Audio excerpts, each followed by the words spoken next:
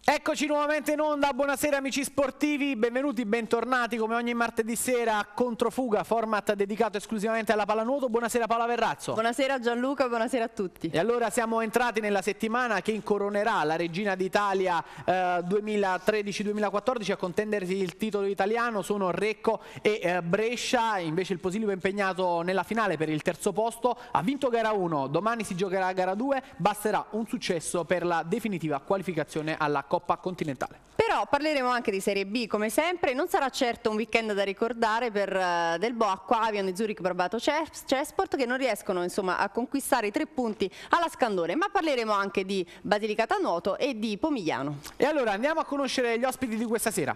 Ve li presento subito. Allora, quest'anno ha debuttato nel campionato di Serie A1 brindando l'esordio anche con vari gol. Attaccante classe 95 della Doa Posilipo, buonasera Adelio Russo. Buonasera.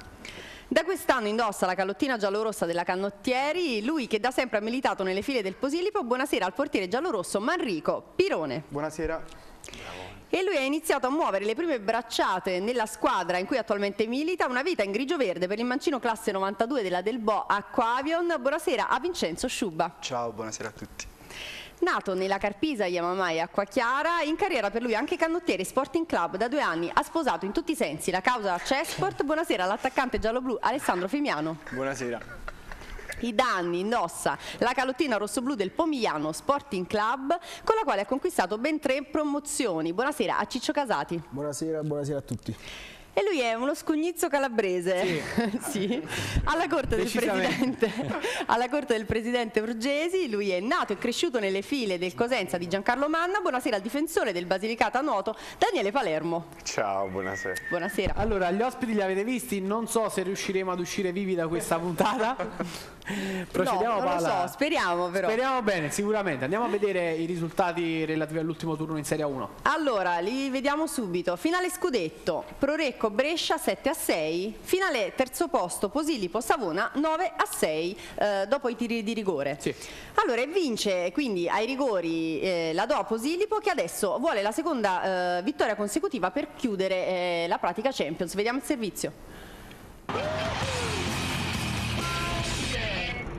La prenotazione per un posto in Champions è stata effettuata, ora serve solo il definitivo check-in per il Doha Posillipo prima di imbarcarsi sul charter privato con destinazione Europa. Sono serviti tiri di rigore per stabilire la vincente di gara 1 di finale terzo posto tra Posillipo e Savona, ma alla fine l'hanno spuntata i rossoverdi di Cufino dopo gli errori dai 5 metri di Deserti, Mistrangelo e Damonte e le realizzazioni di Gallo Klikovac e Radovic. Nonostante il circolo napoletano sia andato per primo a Bersaglio, bersaglio, la partita per i partenopei si era messa subito in salita, coi Liguri che hanno chiuso il primo parziale in vantaggio di due reti, 4-2. Nella seconda frazione poi il Doha trova la forza di pareggiare i conti imponendosi col break di 2-0. Le ultime due frazioni di gioco restano in totale equilibrio negli ultimi 8 minuti, tra l'altro a brillare sono le rispettive difese, nessuna delle due compagini riesce ad andare a bersaglio. Il tempo regolare si chiude col punteggio di parità 6-6 ed in virtù del nuovo regolamento FINA senza tempi supplementari supplementari si vola ai rigori dal virtuale dischetto del rigore, la linea dei 5 metri delimitata dal birillo giallo come anticipato, si decide la sfida con la vittoria dei padroni di casa perfetti in fase di realizzazione, ma soprattutto con un Tommaso Negri, estremo difensore posillipino, che in versione Mandrake ipnotizza i tiratori savonesi confermandosi portiere di gran classe. Ancora una volta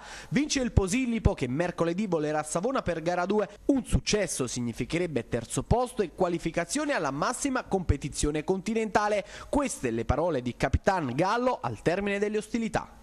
La mia prestazione comunque la giudico al di sotto delle mie potenzialità. Già il fatto che non ho più il dolore che, che avevo prima e che sto abbastanza bene già è una soddisfazione per me. Poi il resto quello che mi interessa di più e che interessa anche a Bruno e alla squadra è il risultato. Il fatto che abbiamo vinto la prima per noi è già importante, comunque andiamo a Savona già forti di questa vittoria che per il morale è sempre importante.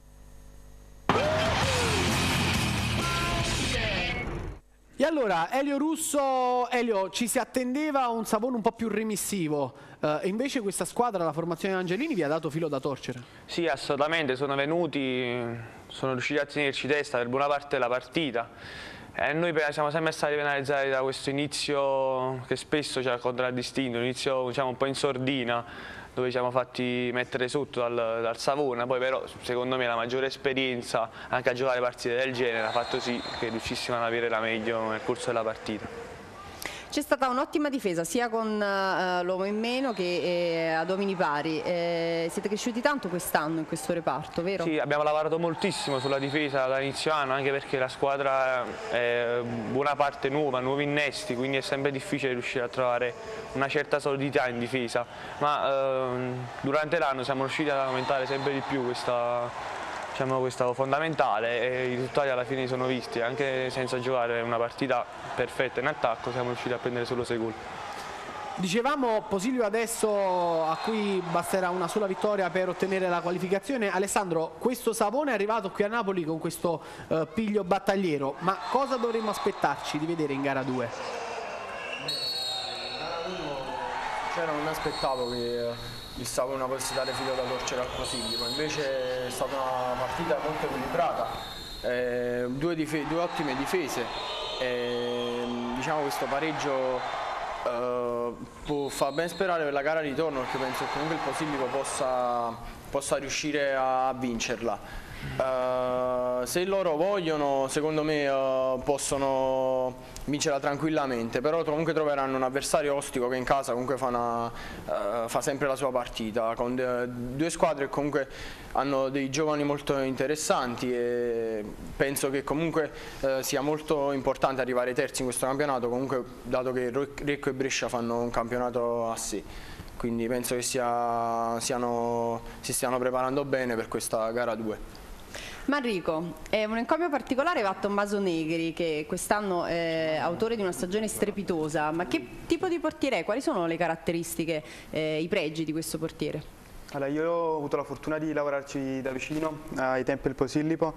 E, innanzitutto è una, una grande persona, un, un, bravissimo ragazzo, ma soprattutto un professionista serio. Oh, fa della, delle sue armi principali l'istinto, infatti non a caso si è contraddistinto nei rigori che diciamo, la caratteristica fondamentale appunto è l'istinto, dove ti senti di buttarti là vai e, e appunto oh, se, se hai un buon istinto riesci a parare. Uh, niente, una bella persona, anche un ottimo portiere. Purtroppo non riesce a, a, ad andare bene anche in nazionale, uh, poiché davanti a due grandissimi portieri come Tempesta e Del Lungo. Però comunque penso, è lì, è lì, è se la gioca comunque sì, con uh, il, il, posto in nazionale. Eh, Daniele, noi parlavamo anche con mister Cufino, forse l'unica vera pecca di questo Posillipo è stata la difficoltà in attacco di chiudere la partita quando era possibile. Sì, ci sono state due o tre volte in cui il Posillipo poteva diciamo, mettere la parola fine alla partita, mm. però bisogna pure ricordare che Valentino Gallo ritorna da un infortunio e quindi quando poteva metterci la zampata con la sua esperienza purtroppo ha peccato, però io sono convinto che essendo un signor giocatore quello che come ha detto lui nell'intervista, quello che non è riuscito a fare in gara 1 probabilmente gli riuscirà molto più facilmente in gara 2. Vincenzo, ci fai un tuo personalissimo bilancio della stagione del Posilipo quest'anno? Mm, ma sicuramente positivo, sicuramente non può, non può essere negativo anche perché si è arrivata a giocare la possibilità di accedere per il secondo anno consecutivo diciamo, all'Europa e in un campionato dove, ricordava prima Alessandro, Recco e Brescia fanno diciamo, un campionato a sé, arrivare terze quasi come arrivare primo, tra virgolette, in un secondo campionato. Bilancio positivo e squadra sicuramente in crescita, di grandi prospettive future. Ciccio, un Posillipo costruito benissimo da Tommaso Negri che ormai sta da anni, un portiere di grande esperienza, di grande caratura, un elemento campione del mondo come Valentino Gallo, i due stranieri azzeccatissimi, Mandolini a centro che sta giocando benissimo, eh, i Mattia e Lorenzuto, i giovanissimi, i senatori come Bertoli e Saccoia, ma chi tra questi qui secondo te può essere determinante in ottica qualificazione Champions in gara 2 domani? Guarda Gioca, io penso che eh, diciamo che Concordo pienamente perché negli anni il Posillipo ha adottato quella che è stata una, diciamo una, un nuovo programma di rifondamento sui suoi giovani e si è visto gli ultimi arrivati quale Elio che sono comunque ragazzi come si dice della cantera del, del Posillipo e questo ha portato i suoi frutti infatti come abbiamo visto entrare a qualificarsi eh, diciamo nella, nella, massima serie eh, del, nella, nella, diciamo nella coppa principale, sì. nella coppa principale diciamo, è un traguardo e ribadisco anche quello che hanno detto i miei colleghi, comunque arrivare terzi è come vincere uno scudetto.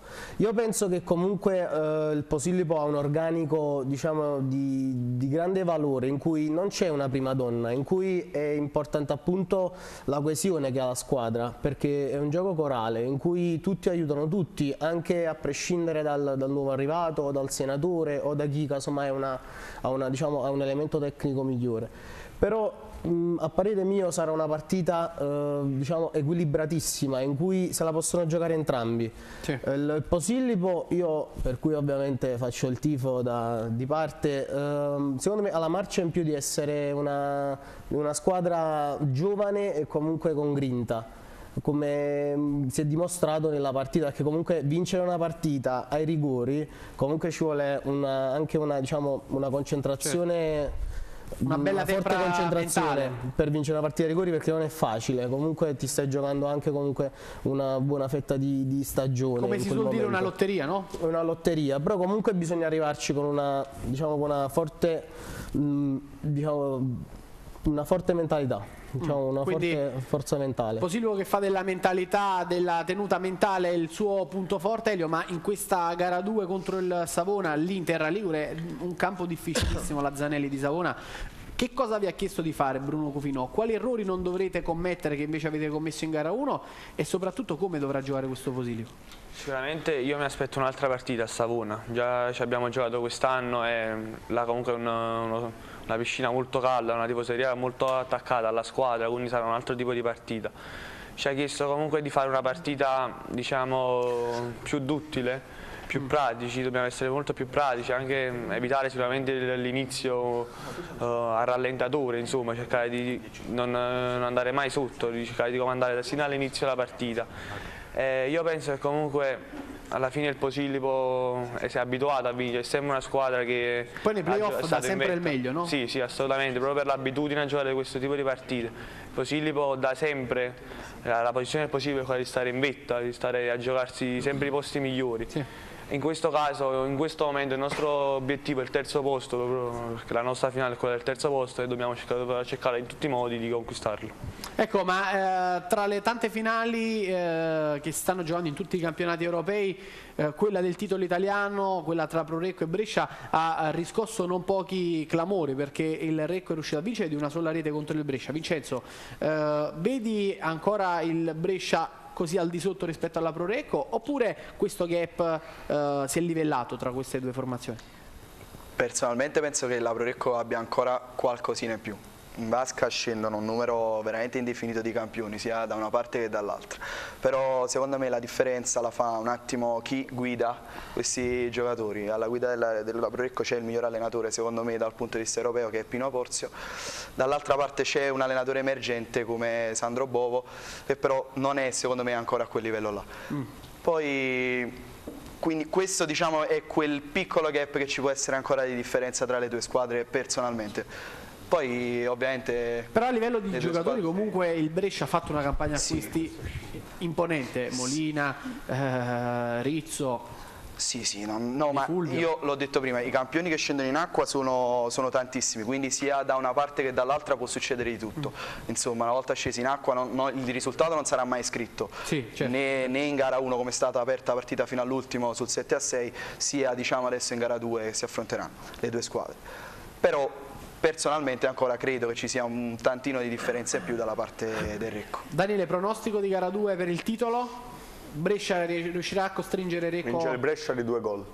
Oh, ti, ti sbilanci? Sì, sì. Vince il Brescia di due gol, Sì, quindi sì, anche sì. tu vedi comunque un Brescia eh, in casa, chiaramente giocheranno gara 2 favorito alla Monpiano. Io sì, anche perché appunto nel bre- essendo da anni il Pro- la Prorecco là davanti, forse per la prima volta che una squadra gli va così vicino può darsi che l'orgoglio, la spinta, la spinta dei tifosi, questa- questo fatto di poter eh, finalmente strappare questo titolo al Prorecco. Li motivi che ulteriormente. Ci sarà una motivazione in più rispetto a giocatori che sono nella Prorecco che tra virgolette sono quasi abituati a vincere, quindi potrebbe peccare su questo. Io penso che il Brescia possa vincere. Alessandro, ricordiamo che poi il Brescia una finale con la Pro Recco l'ha vinta, eh, quella di Coppa Italia qualche anno fa alla Scandone di Napoli per un paio di gol se non erro. Sì, eh, penso che comunque sia una partita da 1x2, comunque l'andata è stata molto combattuta e non si vedeva una finale così combattuta da, da diversi anni ed è anche bello per questo sport perché comunque in, eh, sono anni, decenni che regna il Recco e vedere vincere un'altra squadra sarebbe anche più divertente secondo me. Marico, tu come la vedi? Eh, diciamo che oh, quello che ha detto Vincenzo è giusto, mh, Pino Porza ha maggiore esperienza, però non sono del tutto d'accordo, anche perché nella partita andata ho visto una difesa del Brescia molto ben organizzata che ha messo molto in difficoltà oh, l'atta- l'attacco del Recco, che appunto ha, mh, si è tenuto su, su un punteggio basso e ed è andato molto in difficoltà, perciò mi è piaciuto molto come ha messo la, la squadra in campo, è davvero un grande allenatore. La partita di ritorno è aperta, qualsiasi risultato, penso che il Brescia ce la possa fare a vincere, a portare la gara a gara 3. La sfida Ciccio, gara 3. ultimo pronostico, tu come la vedi? Guarda, io diciamo in questo senso tifo Brescia perché comunque a me piace quando le competizioni si allungano, non quando già è tutto scritto, perché chi è più forte sulla carta deve per forza vincere. Quindi io dico che per me il Brescia può vincere e mi farebbe piacere che vincesse. E staremo a vedere quindi che Vedremo cosa, che andrà a cosa succederà. Nel frattempo noi ci fermiamo per qualche istante e torniamo subito dopo la pubblicità. Restate con noi.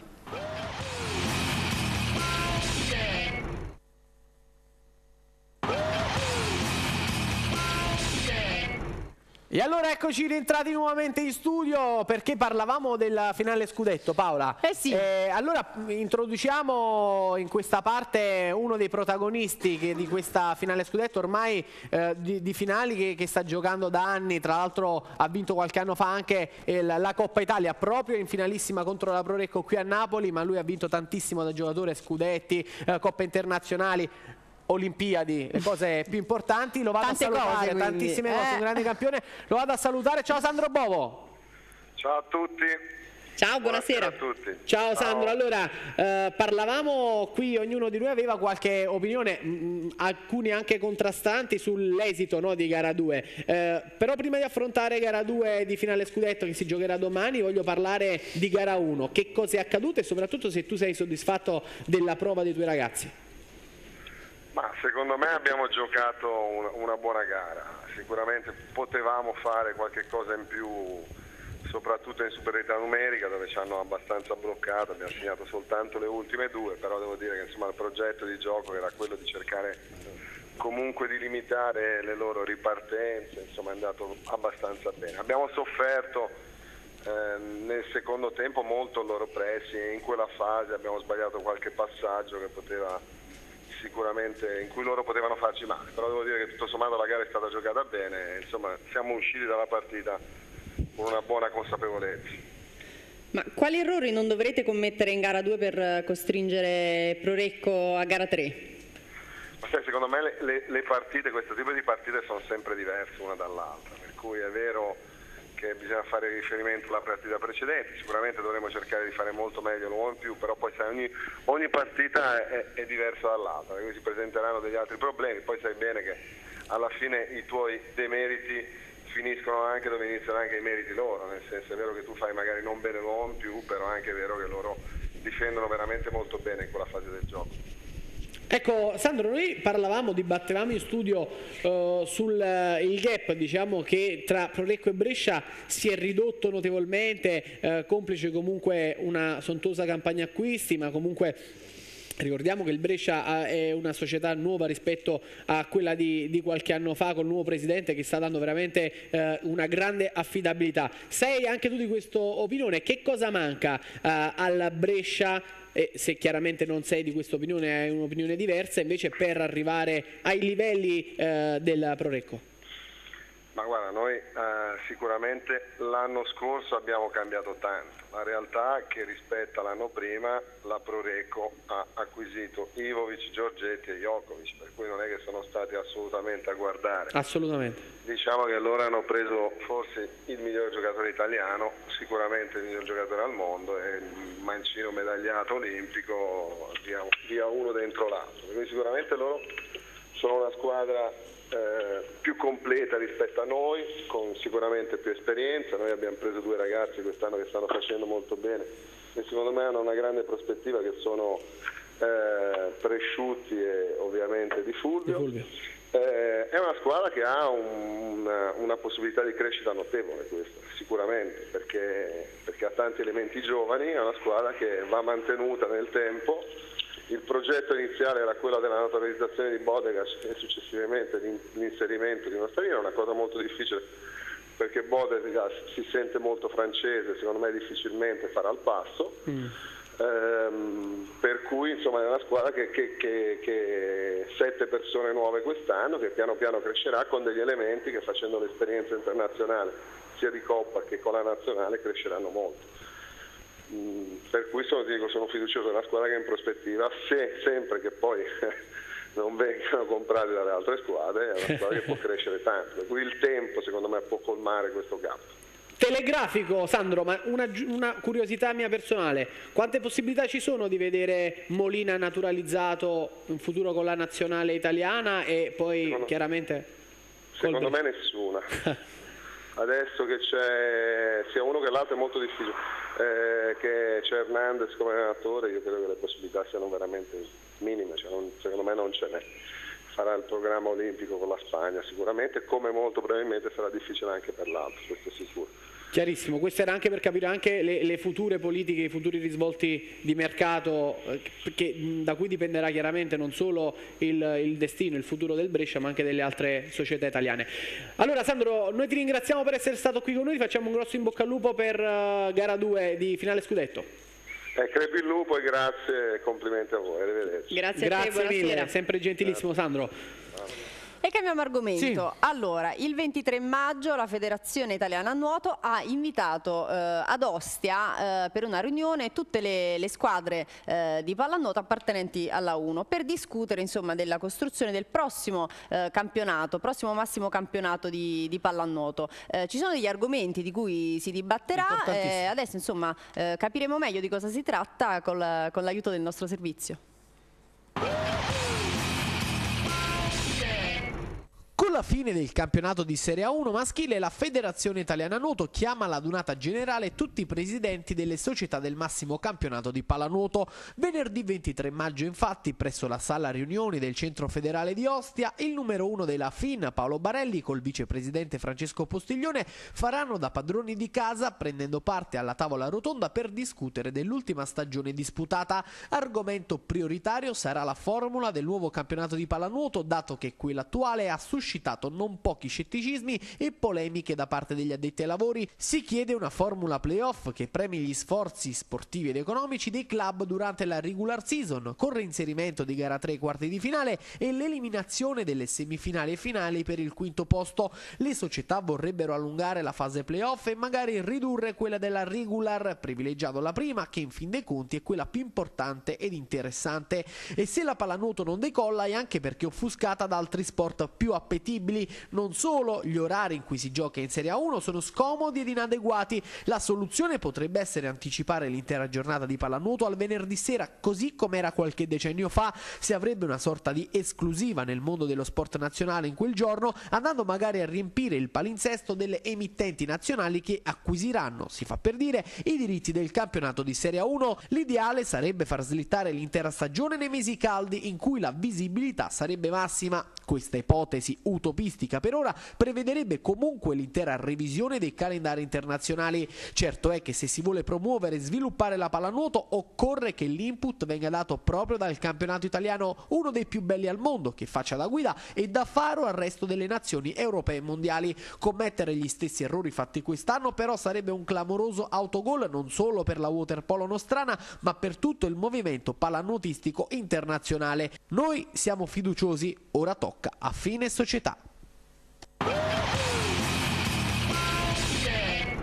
E allora questi un pochino gli argomenti che probabilmente si dibatteranno in quel di Ostia il 23 maggio con questa lettera eh, da parte del vicepresidente eh, federale a tutte le società, quindi interverranno i presidenti del massimo campionato di pallanuoto maschile. Eh, vado subito da Daniele Palermo perché Daniele sembra che le società eh, vogliano, abbiamo ascoltato nel servizio, eh, giocare il venerdì sera invece del sabato a causa di orari scomodi, al- il sabato alle ore 15 molta gente lavora, i ragazzi escono probabilmente dalle scuole e quindi non hanno il tempo di recarsi a un impianto sportivo, alle piscine. Il venerdì sera sarebbe la soluzione, a detta dei presidenti, ideale. Tu cosa ne pensi? Probabilmente può essere un'idea, anche perché co- come hai detto tu il sabato, anche perché soprattutto, anzi non anche, il fatto che ormai la pallanuoto è, è uno sport giovane, mettiamola così, quindi con eh, ampie prospettive per quanto riguarda i giovani, la maggior parte dei, dei ragazzi che giocano nelle serie maggiori hanno vanno appunto a scuola e probabilmente giocare un, un venerdì, un venerdì sera potrebbe giovare a questo sport, ma, ma non tanto per gli atleti che comunque anche una cosa in più si perderebbero un allenamento, quindi per loro forse è anche una cosa in più, ma soprattutto per il pubblico, probabilmente un- una persona che non ha niente a che fare con la pallanuoto, se sa che nella propria città un venerdì sera può uscire e andare a vedere una partita di pallanuoto, probabilmente è più invogliata rispetto al sabato che sarebbe un pochino più complicato per lui. Per quanto riguarda invece gara 3 quarti di finale, chiedevano a qualcun altro. Sciuba, ci sei tu, rispondi. No, si- la la forma- vedi? sicuramente Paolo De Crescenzo ha alzato questo famoso polverone una volta e per tutte. Diciamo che... Dici che cambierà qualcosa? Sì, sì, assolutamente sì. Non possono, non far Non po- cambiare. attualmente non possono non far cambiare nulla. L'orario delle partite è fondamentale, non forse come diceva Daniele, ma fondamentale. Anche perché il venerdì sera, come dicevi tu nel servizio, sicuramente si monopolizzerebbe l'attenzione sul, sul fattore pallanuoto eh, a livello di sport nazionale. Sul fatto di giocare eh, partite in più, partite in meno, sicuramente andrebbero annullate le finali dal quinto al sesto posto perché quinto sesto, sì. Sì, Sì, quinto, quinto, sesto, sesto, settimo, ottavo poi. quinto, sesto, settimo, ottavo. solo le semifinali. Sì. Eh, due anni fa invece anche le finali, quindi... No, perché si svalorizzerebbe senza ombra di dubbio la regular season, quindi annullate direttamente secondo me queste partite, eh, queste semifinali dal quinto al sesto posto e poi più, più avanti si va, secondo me il, il problema sta sempre lì, ne- negli orari delle partite, più che altro nel- nell'incentrare l'attenzione sulla pallanuoto, perché poi o giochi tre partite o ne giochi cinque, la differenza non è tantissima, secondo me, se la, parti- se la partita è seguita e se soprattutto è spettacolare. Quindi adesso starà diciamo, all'accordo tra società e federazione, poi ovviamente ci sono sempre i soliti problemi economici, quindi andare incontro anche a- sotto questo punto di vista alle società. Certo, Vedremo come si andrà a finire. il- eh, Alessandro, la, la lettera che è arrivata, rivolta chiaramente ai presidenti, almeno nel testo, non parlava di eh, incontrare anche i tecnici o i giocatori. Oggi un comunicato dell'AGP, l'Associazione Giocatori Pallanuoto, ha parlato di un primo eh, incontro tra la Federazione Italiana Nuoto e proprio la neonata associazione, la- anzi la rinnovata associazione perché ricordiamo che dal 2008 esiste. Eh, ti voglio chiedere, eh, non sarebbe il caso di non commettere l'errore dell'anno precedente e di invitare a queste riunioni tecnici perché loro conoscono, loro sanno, loro giocano, hanno giocato.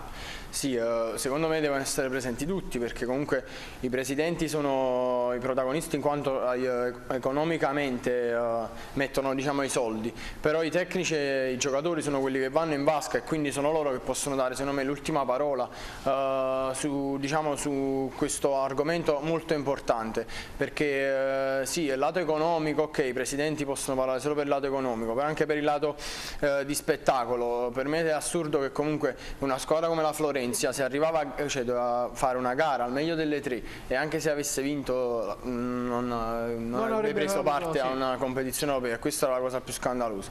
Eh, per il resto secondo me eh, una- c'è un dibattito che si doveva avere prima, cioè non si può fare un dibattito a fine campionato quando comunque alla fine avevano accettato tutti questa formula e quindi è un dibattito che si, si doveva fare eh, all'inizio perché comunque non è che si deve arrivare alla fine che l'acqua chiara non è arrivata a gara 3 e aprire questo polverone comunque eh, eh, cioè, lo sapevamo tutti che, è inutile fare una gara 3 al quinto, quinto sesto posto anziché farla ai quarti di finale dove anche per lo spettacolo è molto meglio quindi eh, penso che debbano, i giocatori sono i primi a dover essere presenti.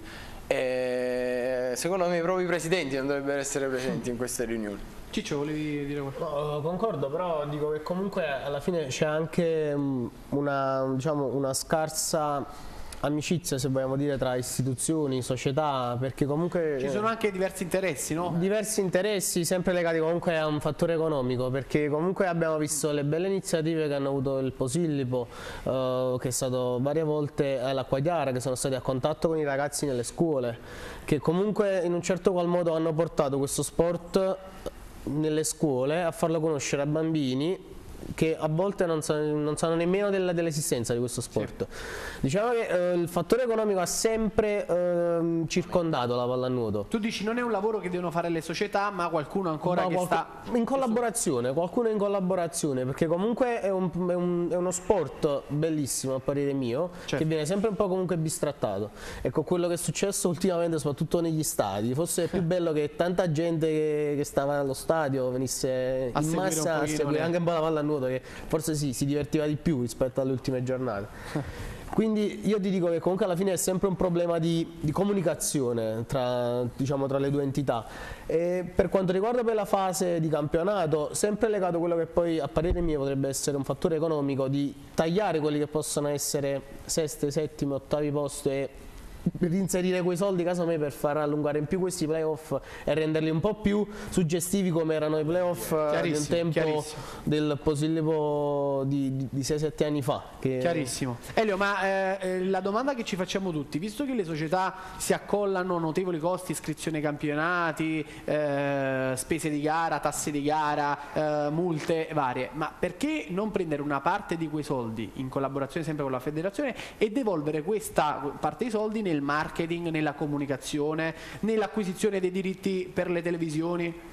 Sì, questo pure penso sia un, un punto necessario proprio per, eh, per eh, sponsorizzare la proprio perché come tutti sappiamo non è un periodo felicissimo, dove è uno sport non eh, seguitissimo diciamo, a parte dei protagonisti.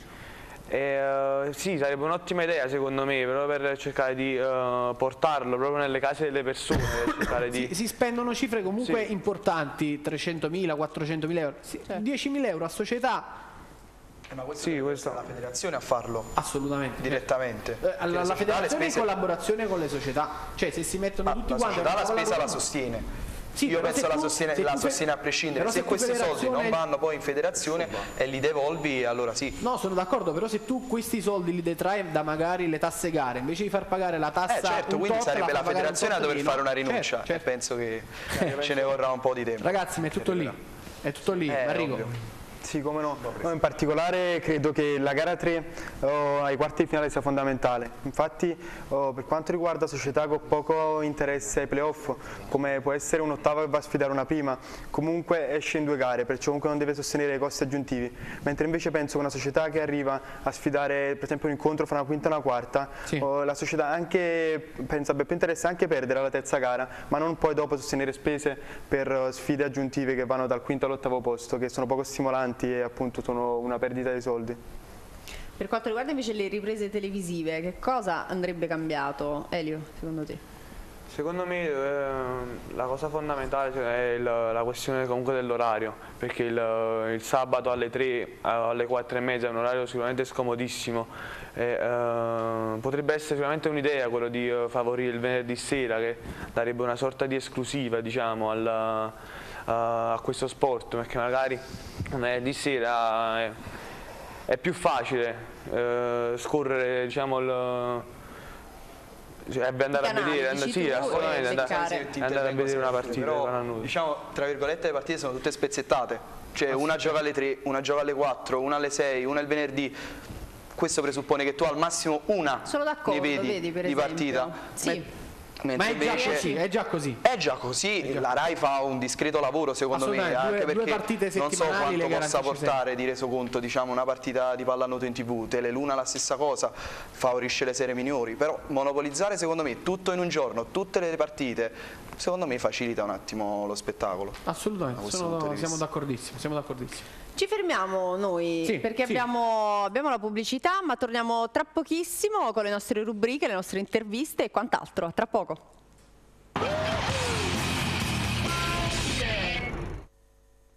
E ripartiamo quindi sì. con l'ultima parte di Controfuga, stavolta si parla di Serie B. Allora, diamo subito i risultati. I risultati quindi Serie B maschile per il girone 3. Pomigliano, Rarinantes Napoli 7 a 13, Aquavion, Basilicata 9 a 9. Per il girone 4 invece Cesport e Arechi eh, contro Arechi 8 a 10.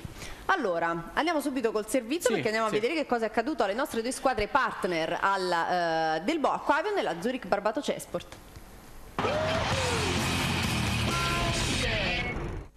Quella di sabato di sicuro non sarà una giornata da ricordare per le due formazioni di Serie B del Boacquavion e Zurich Barbato Cesport. I grigio-verdi di Bencivenga si complicano la strada per la qualificazione playoff promozione dopo il pareggio con il Basilicata Nuoto di Nini Silipo e le vittorie delle dirette avversarie Pescara e Roma 2007 che allungano ulteriormente in classifica. Un botte e risposta durato ben 32 minuti con i Lucani in vantaggio nella prima frazione. Tra i vari tiri e molle ed un rigore sbagliato dai napoletani si arriva a 3 minuti dal termine col Basilicata in vantaggio 9 a 8 con la segnatura sembra definitiva di Palermo. L'Aquavion ci crede con Montesano, prova superlativa alla sua con ben 4 reti, acciuffa il definitivo pareggio 9 a 9 ad un minuto dal termine la Del Boa ha la possibilità di beffare clamorosamente la squadra di Potenza ma Caruso respinge la conclusione di Danaro termina in parità. Cade anche la Cesport tra le mura amiche della Scandone nel derby campano contro la Rarinante Sarechi. I salernitani privi di storniello si trovano trovano subito ad inseguire con i giallo-blu in vantaggio 3-2. Sono i due tempi centrali a portare definitivamente gli Amaranto in vantaggio con un break di 4-0. I ragazzi di Citro si trovano infatti a condurre 8-4. I vomeresi non ci stanno e rabbiosi vanno ripetutamente a bersaglio. Segnano Femiano, Truppa ed Elmo riportandosi a meno 1. Nuovo allungo dei Rarinantini con Baviera e nuova risposta della Cesport con Aiello. Sull'8-9 poi la definitiva rete che spegne le speranze di rimonta da parte dei napoletani col gol di Del Basso che spiazza Cuomo tre pali e regala i suoi tre punti. Adesso per i ragazzi del presidente Peppe Esposito due finali per evitare la lotteria dei playout contro Sette Scogli e Messina. Vincenzo, allora abbiamo visto la partita con la Basilicata, eh, com'è andata? Eh. Poi parlaci anche delle prossime eh, partite che dovrete affrontare. Avete la, la penultima e la terzultima in classifica, eh, quindi insomma, volevamo sapere che partite saranno queste. Insomma, la, la partita col Basilicata, meglio dimenticarla subito. C'è Palermo che sorride, C'è? Palermo che sorride perché ha conquistato una tranquilla salvezza per quest'anno. E Era il mio obiettivo. Era il suo obiettivo e ci deride perché fondamentalmente questo ci condanna un po' questo pareggio nel- nell'abbandonare, tra virgolette, anche forse l'ultima speranza nel, nel riuscire a conquistare i playoff. Le prossime due giornate, vabbè, sono contro la terzultima e la penultima in classifica, Roma sono due Pescara. giornate... Cosa? Roma e Pescara, Sì. stavo puntualizzando. Eh, sì, no, Roma e Polia. Sì. Roma e Polia, due squadre Roma di Roma. e Pescara poi sono le vostre contendenti. Ah, esatto, sì, le prime due Roma e Pescara. Sì, quindi tra virgolette sono due partite semplici che- nel quale probabilmente riusciremo a conquistare questi ultimi sei punti del campionato e non possiamo, ormai non dipende più niente da noi. Sì. Possiamo sperare, forse davvero questa è l'ultima occasione che il Latina riesca a battere il Pescara nell'ultima giornata e poi, e poi niente, aspettiamo insomma. E invece anche la Cesport, la Cesport si è dovuta arrendere ad una rega a cui comunque facciamo i complimenti. Tra qualche polemica abbiamo anche un episodio che mm, Alessandro vi ha un po' visti protagonisti Sì. in negativo, però poi voglio chiederti anche di queste due partite con sette scogli fuori casa e l'ultima poi in casa col Messina, due partite per giocarvi la salvezza senza passare dai Sì, playout. abbiamo affrontato la prima del, del girone, una squadra fortissima con dei ragazzi che sono, sono veramente, sono veramente forti. E purtroppo, eh, qui vediamo il gol di Paolillo. Eh, purtroppo Purtroppo secondo me la partita è stata condizionata molto dall'arbitro, non parlo di, di alcuni di alcune diciamo, situazioni ma di una serie infinita di controfalli che comunque ha permesso a loro di metterci sotto dato la loro preparazione atletica poi sul finale sul 9 a 8 c'è un episodio Abbiamo- lo abbiamo quell'episodio a cui ti riferisci, voglio, visto che lo stavi per annunciare, eh, chiedo alla regia di far vedere proprio l'episodio del fallo, eh, così poi ti, lo puoi Sì, sul commentare. 9 a 8 c'è un, un episodio dubbio su, su Di Carluccio che a mio modo di vedere almeno era espulsione. Poi non lo so, i miei colleghi dicono di no, ma secondo me qua comunque un'espulsione in casa te la possono chiamare, considerando che quando andiamo a Catania o andiamo in Sicilia gli arbitri sono palesemente a favore delle squadre casalinghe, in casa non veniamo mai agevolati da nessuno, tant'è vero che hanno avuto più espulsioni loro di noi. E Vabbè, questo fatto secondo me è abbastanza assurdo, non dico che dobbiamo essere agevolati, però almeno eh, un occhio di riguardo, dato che comunque quando andiamo fuori casa veniamo sempre trattati male. Poi per quanto riguarda le ultime due partite abbiamo fuori casa col Sette Scogli e, e alla- all'andata anche qui venni qui come ospite era una missione impossibile, pareggiamo, adesso Speriamo fuori casa, speriamo porti fortuna di nuovo. Poi c'è il Messina dove diciamo secondo me ci giocheremo tutto all'ultima giornata perché comunque andare a vincere a Siracusa penso sia abbastanza difficile, ma ce la metteremo tutta. Due partite per scrivere il destino di Aquavion e Cesport, alle quali facciamo un grosso in bocca al lupo.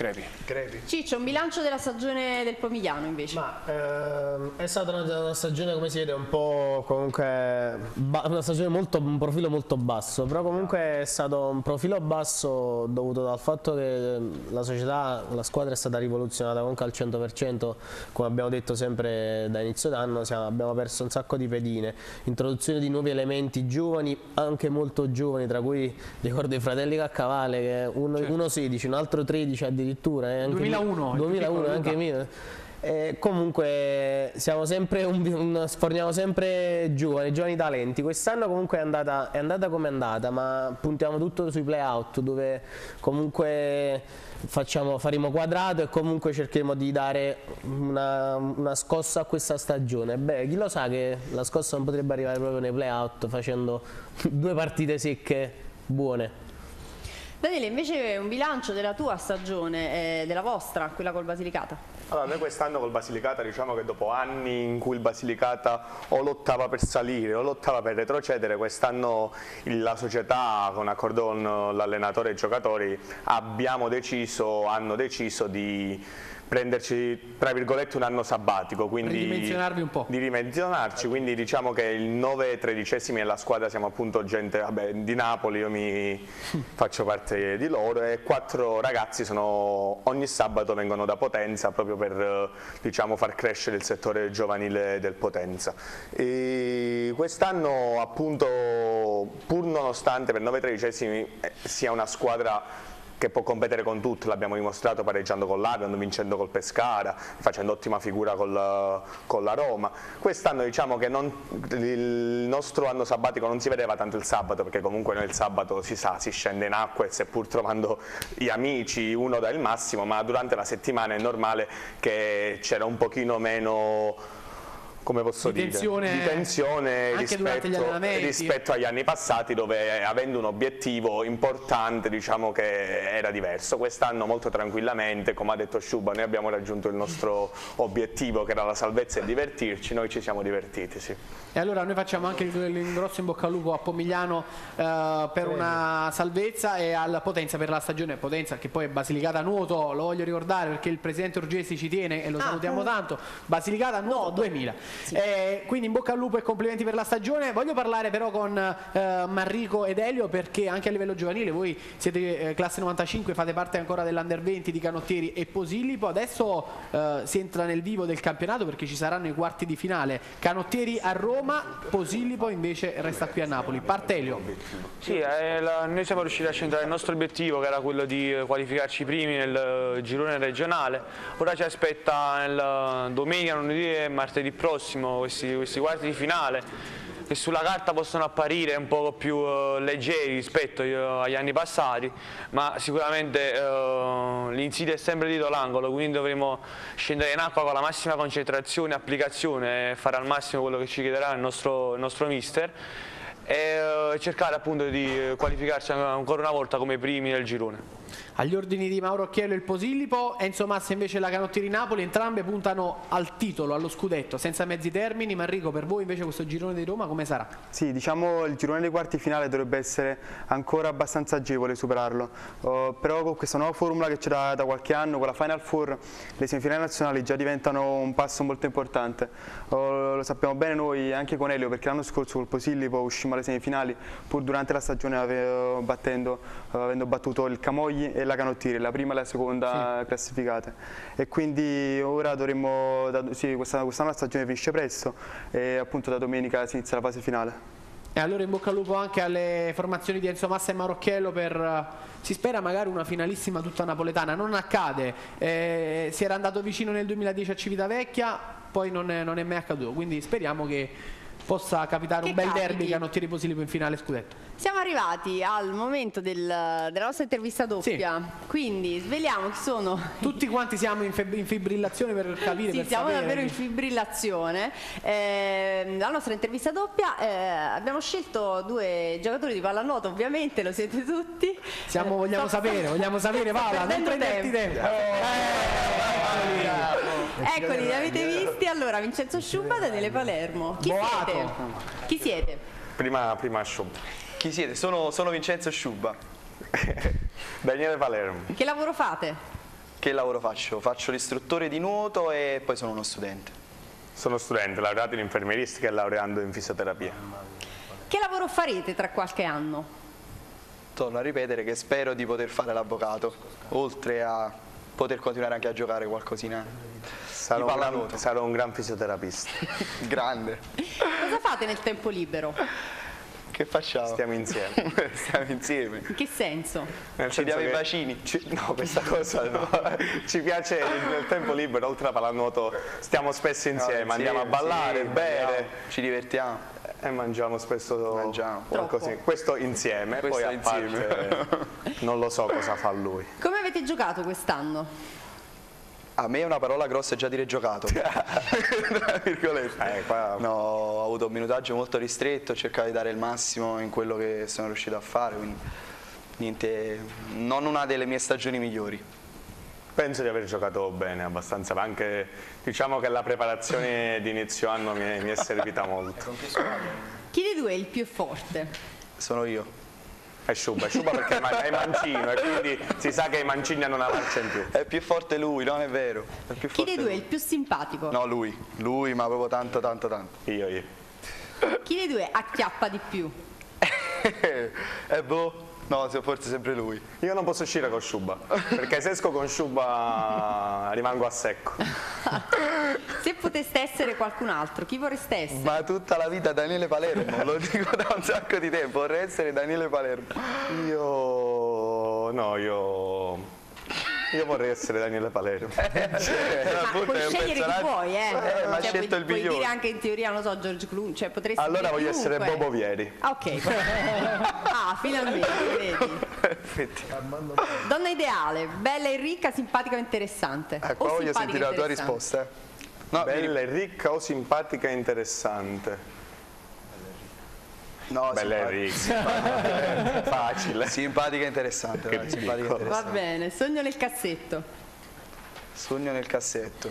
Va. Ripetere forse una stagione come quella dell'anno scorso a livello pallanotistico e poi riuscire a realizzarmi dal punto di vista completo di vita, casa, femmine. Femmine, femmina. Femmine. Femmina, femmina singolare, Femmine casa, donna, plurale. donna, vai per No, io pure realizzarmi nella vita, nel lavoro, nella famiglia, avere dei figli, dare un'istruzione, un- tutto quanto. tante cose. Poi giocare una stagione con Daniele Palermo, vorrei giocare una stagione con Daniele Palermo. Un sogno ricorrente. Lui che mi bacia. Baciare oggi. L'incubo. Sì, perché mi dà fastidio, lo fa e mi dà fastidio e voglio che si sappia. Un sogno ricorrente. È un tormento. No, un sogno ricorrente, di quei sogni ricorrenti non No, non ho. ti viene in mente, va No, bene, non mi va viene in bene, va mente. bene, passiamo oltre. Allora, una grande soddisfazione.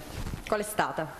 Una grande soddisfazione ma dal, pu- dal punto di vista del pallanuoto la scorsa stagione, incredibile, ma non tanto per i risultati ottenuti perché poi non abbiamo vinto niente, però ho incontrato persone fantastiche, un- abbiamo stretto un gruppo incredibile che- con il quale tuttora continuo a frequentarmi anche al di fuori della pallanuoto, quindi questa è una grande soddisfazione. E poi, vabbè, è presto per parlare di soddisfazioni, però lo studio, prima o poi questa laurea insomma sarà, Ti darà una grande ti darà una soddisfazione. grande soddisfazione. Una grande soddisfazione è essere riuscito a venire a Napoli dopo 18 anni a Cosenza ed essere eh, tra virgolette, riuscito a campare, quindi anche re delle serate solo, napoletane, diventa- trovare persone e comunque stare bene a Napoli, per me è stata una bella soddisfazione. L'integrazione, Sì. dici tu. Perfetto. Una grande delusione invece. Non essere riuscito a salire in Serie A l'anno scorso, grandissima delusione.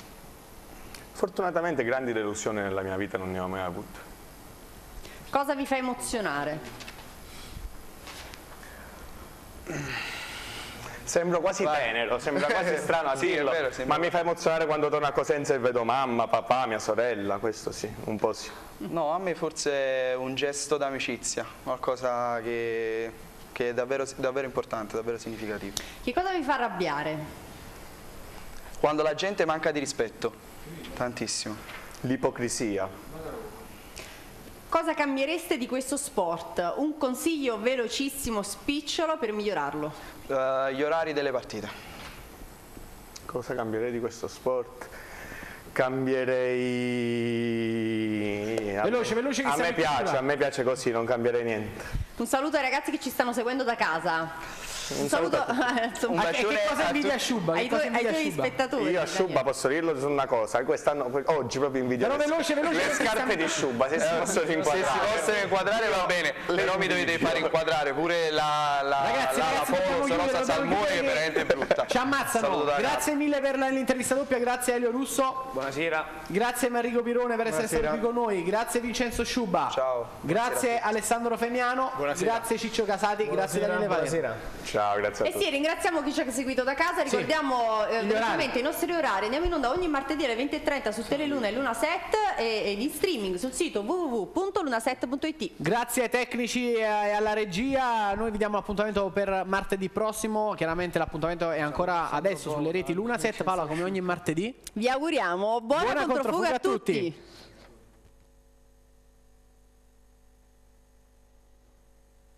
Questo programma è stato offerto da